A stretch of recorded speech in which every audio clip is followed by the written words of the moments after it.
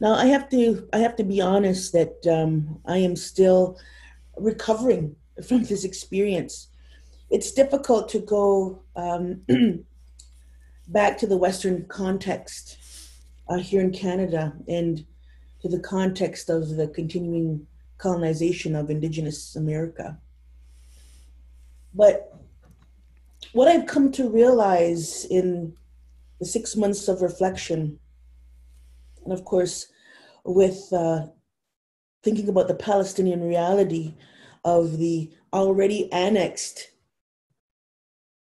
territories um, there in, in, in Palestine, is that their participation um, in liberal democ- democracy requires an understanding of systems and structures of privilege and the dignity of personhood. Uh, from my own experience here in Canada, I know that to participate, which is a basic right, by the way, is to understand uh, that personhood must be recognized. This is not a political question, at least not a political question when speaking from a liberal demo- democratic reality in which we sit in now. It's about humanity, it's about rights, and it's about dignities. The Palestinian people, as we travel through the rolling hills of that beautiful and ancient country, what we found though is infrastructural weaknesses, water, sanitation,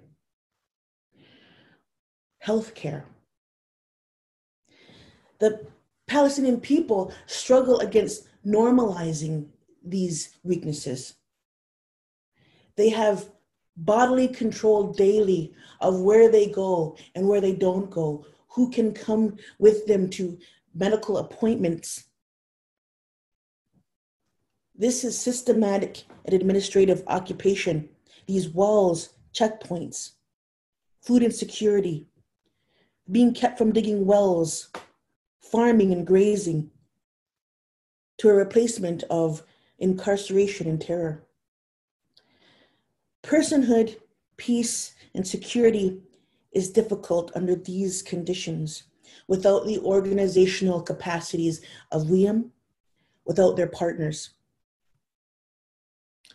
These organizations come together to teach, to educate, to create spaces in which Palestinian communities, Palestinian communities of, that are marginalized, women, children, but also communities that work with Palestinian communities, Israeli communities, coming together to create this space of peace and justice.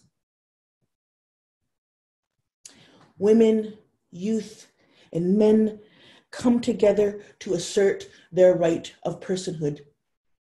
It's not even about participating in the political structure of the Israeli state, but to just to demonstrate their own dignity, their own right to speak, their own right to, to farm, their right to create economies, their right to live.